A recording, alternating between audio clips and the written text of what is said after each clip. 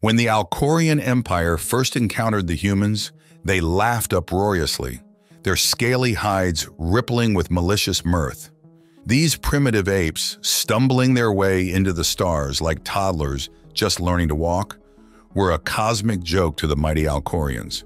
The humans had barely mastered basic spaceflight, their ships little more than crude tin cans held together by spit and prayers, and yet they were already attempting to make contact with the rest of the galactic community.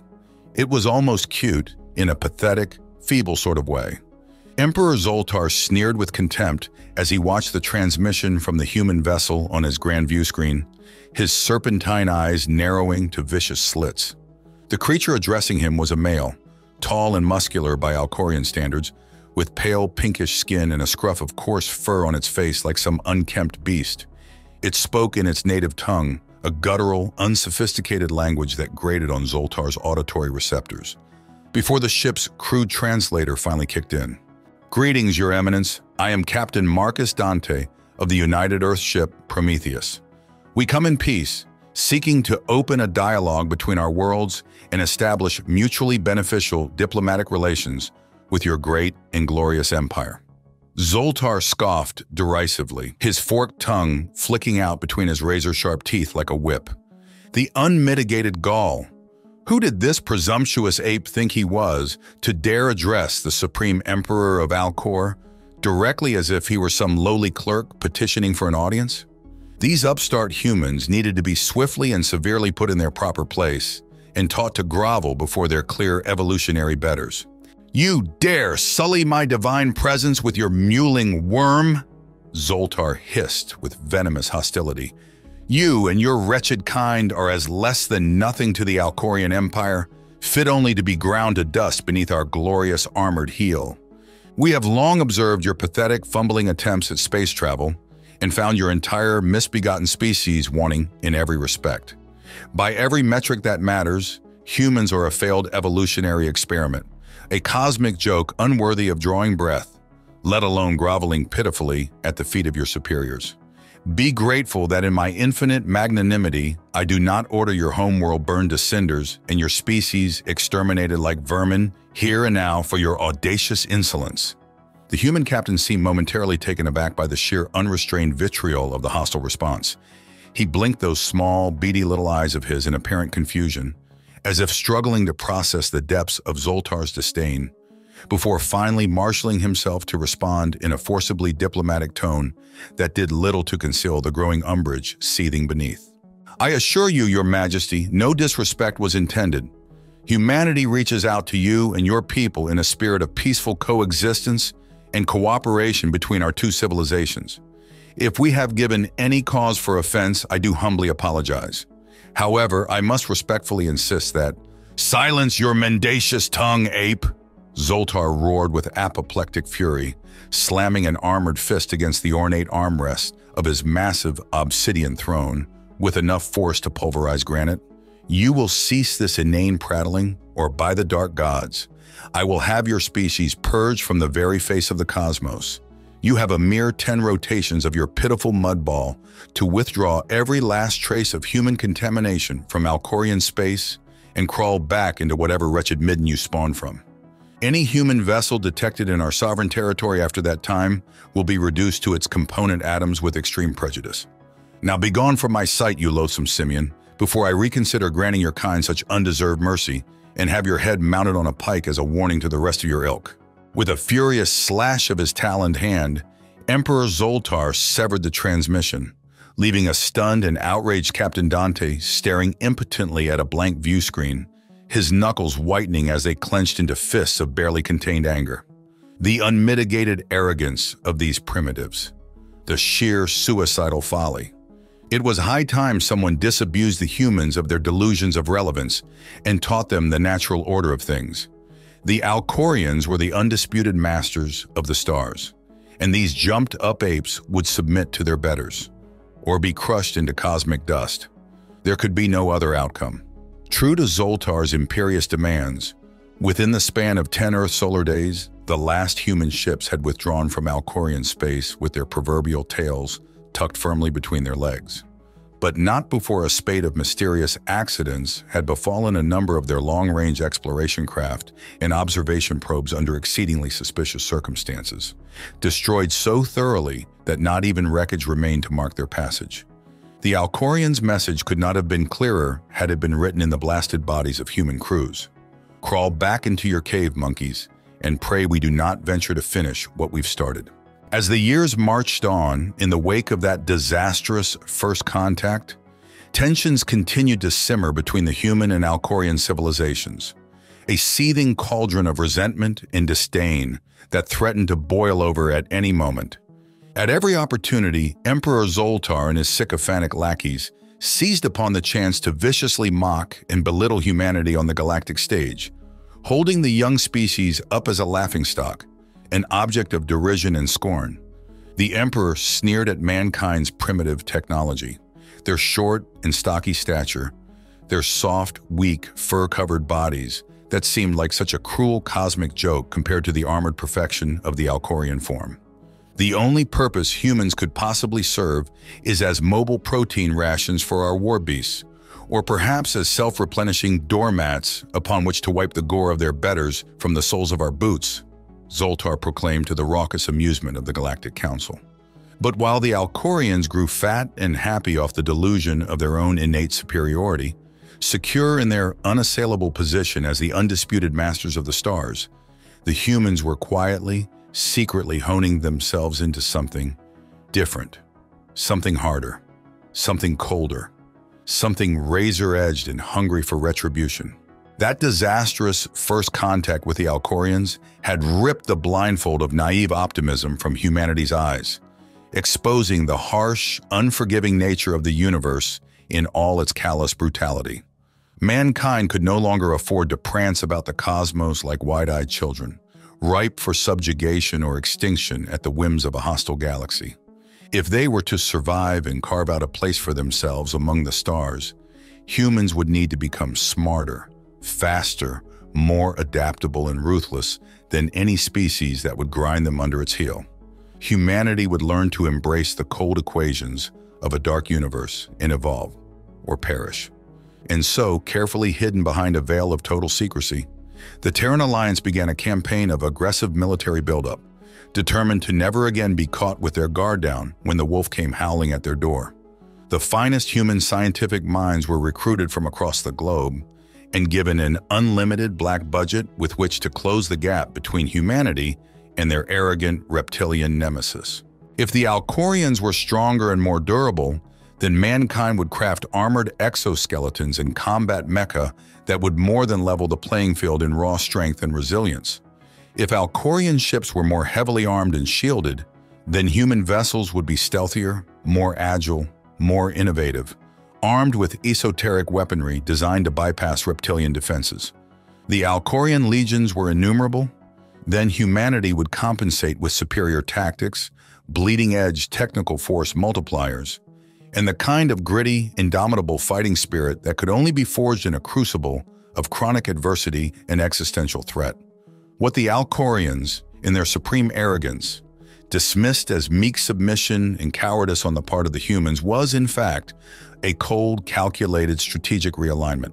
Spurred on by the sneering contempt and hostility of the reptilian empire, humanity had at last found its true calling, its evolutionary niche in a harsh cosmos, not as diplomats or explorers, but as a civilization of soldiers, of survivors. The Alkorians believed that the ape men of Earth feared them. In truth, it was the humans who had finally learned the value of being feared a lesson they would soon teach the scaled tyrants, even if it meant burning the galaxy down to ashes and rebuilding it in mankind's image. So let the Alkorian Empire gloat and posture while they could. Let Emperor Zoltar grow fat off the delusion of his own invincibility, while his cowed slaves and client races trembled before their reptilian masters. Humanity would watch and wait and prepare in secret, sharpening its claws in the dark until the day that smug-scaled face dared slap them one time too many. Then the Alkorians would learn to their eternal regret the depths of the frozen hell they had unwittingly consigned themselves to by earning mankind's undying enmity. That day of reckoning came sooner than anyone could have imagined, as the Alkorian Empire's limitless arrogance and disdain for their lessers finally boiled over into naked aggression. In an act of flagrant hostility that brazenly violated every tenet of interspecies law, Warlord Zoran, a cousin of Emperor Zoltar, and one of the most feared commanders in the Alkorian military, launched an overwhelming invasion of a key human mining colony in the Balder system. Thousands of defenseless human civilians were brutally beaten and dragged, screaming from their homes, forced into squalid labor camps to toil like slaves under the merciless Alkorian lash. Any colonists who dared resist this wanton violation were publicly tortured to death, their flayed and crucified bodies left to rot in town squares as a gruesome warning to their fellows. It was a cruel, brazen act of unprovoked barbarism, practically daring the Terran Alliance to respond with more than a token toothless protest. The warlord Zoran, anointed the Butcher of Balder by his own troops, sent a sneering audio transmission to the Terran Alliance High Command, making absolutely certain that his cruel, reptilian visage loomed large on every vid screen. Beg and grovel all you like, apes, but it will avail you nothing. You had your chance to bow to the Alkorian Empire as loyal slaves, and yet you dared to believe yourselves our equals. This is your reward for failing to grant your masters their proper respect. And I assure you, this is but the merest taste of the suffering we will inflict on your pathetic species if you continue to test our patience. Kneel before your Alkorian overlords and surrender your worlds to our glorious rule. And perhaps, if you amuse us sufficiently with your groveling, your lives may be spared to toil eternally in our minds as you were always destined. Zoran's mocking laughter echoed across the com channels, even as a great cry of dismay rose from the billions of human beings watching in impotent horror as their defenseless kin suffered and died light years away. The Terran Alliance Council was paralyzed with indecision, terrified of the consequences of a war with the nigh-invincible reptiles, even as public opinion back on Earth screamed for blood, for justice, for retribution at any cost. But when the official human response to the Butcher's ultimatum came at last, it was not with the anemic platitudes and diplomatic appeals that the Alkorian High Command had expected from the spineless apes. No, what appeared on every Tritanium vid screen from the halls of power to the most far-flung colony was no broken, pleading primate or preening politician hoping to avoid bloodshed through appeasement and empty concessions. It was Admiral Alex Stark, Supreme Commander of the Terran Alliance Combined Fleet, his eyes blazing like binary stars, his voice rolling through the speakers like the thunder of Armageddon itself. The scarred, grizzled veteran fixed the Butcher of Balder with a stare of pure, distilled hatred. And in that moment, every human across the galaxy stood with him as one. To the murdering scum of Alkor, Stark snarled, his face gaunt and terrible in the harsh light of the vidscreen. For decades, you reptilian bastards have spat on our overtures of cooperation, answered our pleas for stability with violence, gleefully enslaved and massacred innocent human families on a whim. You think the sons and daughters of Earth weak, cowardly, beneath your contempt. Hear me well then, you scaly sacks of shit. What we are is done. Done with your arrogance, done with your unprovoked bloodshed, done with your delusions of racial supremacy, done with being the galaxy's whipping boys and convenient targets. As of this moment, by unanimous consent of the Terran Parliament and the full backing of all humanity, I am officially declaring total war on the Alkorian Empire, Stark roared, slamming an armored fist onto the podium, his bared teeth flashing in the strobing red alert lights of his flagship's bridge. We will not stop until every human colonist is free from your clawed clutches, until every drop of innocent blood is repaid tenfold, until your wretched species is driven screaming back to the slimy space rock that birthed you, to every free world, every civilization that has suffered under the Alkorian boot. Join us now, throw off your shackles, rise up against your oppressors. You have nothing to lose but your chains. And to the arrogant Emperor Zoltar and all his sycophantic lackeys, I say this, You have sown the wind, now reap the whirlwind. Before this day is done, it is you who will kneel. It is you who will grovel before us and beg for the mercy you denied our people. Humanity is coming for you, monsters. And by all the gods and devils of the galaxy, you will rue the day you fucked with the human race. Humanity, fuck yeah! The assembled Alkorian court gaped in shocked disbelief as the transmission cut out to the sound of billions of humans roaring in unified bloodthirsty approval. For the first time in their empire's long history, the reptiles knew true fear. The war was swift, brutal, and hopelessly one-sided, in humanity's favor. Zoltar realized his fatal error within the opening hours of the conflict, as reports flooded in of human warships tearing through the Alkorian lines like tissue paper. Their primitive weaponry had advanced by leaps and bounds, eclipsing the Empire's own arms which had stagnated from lack of serious challengers. And while each Alkorian ship required a full crew to operate, Earth had perfected advanced automation, needing only a handful of crews to achieve the same effectiveness. One human frigate was worth a dozen Alkorian battlecruisers. Mankind's ground forces were even more terrifying to behold. Towering 10-foot-tall humans clad in hulking, juggernaut power armor waded through storms of Alkor plasma fire without even flinching, their grav hammer blows crumpling Alkorian skulls like rotten grapes inside their helmets. Elite Spectre infiltration units slipped invisibly through the reptiles' lines, sowing chaos behind them. For every human that fell, they made the lizards pay a hundredfold in blood. World after world fell in rapid succession. Human forces liberated the camps on Balder III in the opening moves, avenging the innocent colonists with such jaw-dropping brutality that broken Alkorian soldiers were surrendering by the thousands just to escape mankind's wrath. Not even the fortified imperial capital was safe. Within a month, Earth stood poised to conquer the last Alkorian strongholds. Emperor Zoltar barricaded himself in his throne room, quaking in his scales as he watched his glorious empire crumble before the human onslaught on a dozen view screens. A new transmission from Admiral Stark appeared on each one, causing the once proud emperor to emit an undignified squeal of fear and soil himself. How's the view from up there on your high horse now, you son of a bitch? Stark sneered coldly, a cruel smile playing over his lips. Doesn't feel so good to be the one pissing yourself in terror, does it? Your mighty Alkorian empire is done, you scaly fuck. We're coming for our pound of flesh now, and you're first in line to pay up. Your Majesty, I'll see you real soon. Zoltar shrieked as the human battle fleet appeared in orbit above the Alkorian homeworld the skull-faced profiles of their Reaper-class dreadnoughts blotting out the very sun. All Imperial comms were flooded with human heavy metal blasting at full volume. An auditory assault that caused more than a few Alkorian soldiers to simply drop their weapons and run screaming. The Emperor turned to flee as human drop pods began hammering through his palace's defenses, only to find his way blocked by a hulking brute in slate-gray armor.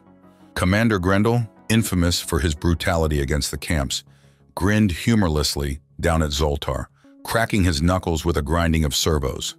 Despite himself, a warm trickle ran down the lizard's leg.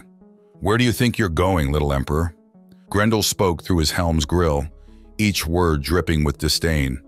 I thought you wanted to see us kneel, to hear us beg for your mercy? Well, we're here to collect, fucker and you're going to be doing plenty of kneeling and begging before I'm done with you. Zoltar watched in horror as the juggernaut grabbed him by the throat faster than his eyes could follow, hoisting him to dangle helplessly in the air. More human titans filed into the throne room, securing the perimeter before parting to allow a large male to step into view. Admiral Stark fixed the Emperor with a bone-chilling glare. Well, well, well, look what we have here, boys, a dickless little lizard who thought he could fuck with humanity and get away with it. He spat on the floor in contempt before turning his frigid eyes back to Zoltar's pleading ones. What's the matter, your highness? Scalecat got your tongue? Let's see if we can't squeeze a few mewling excuses out of you before the end. He nodded to Grendel, steel in his gaze. Break him, but keep the bastard conscious. I want him to feel every moment of humanity's retribution, Zoltar's agonized screams echoed long into that bloody night as mankind took its rightful place as the undisputed masters of the galaxy. Never again would anyone dare insult the human race. Never again would any xenoscum threaten Earth's children. This was their destiny, bought and paid for in the ruins of a shattered empire that had once mocked them. Humanity stood triumphant among the stars that day, screaming its battle cry for all the cosmos to hear forevermore. Humanity, fuck yeah!